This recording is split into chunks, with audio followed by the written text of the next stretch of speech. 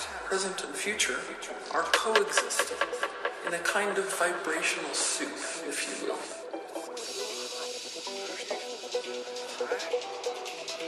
But the minute that the mind conceptualizes of past, present, and future, we are instantly looking through the perspective of linear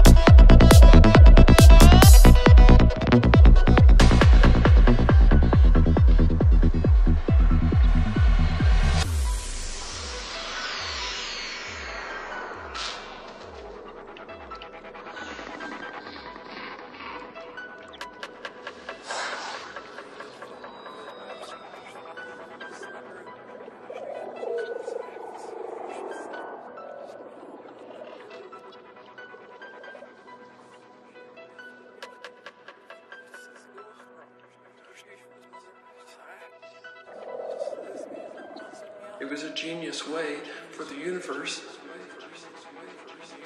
to learn about itself.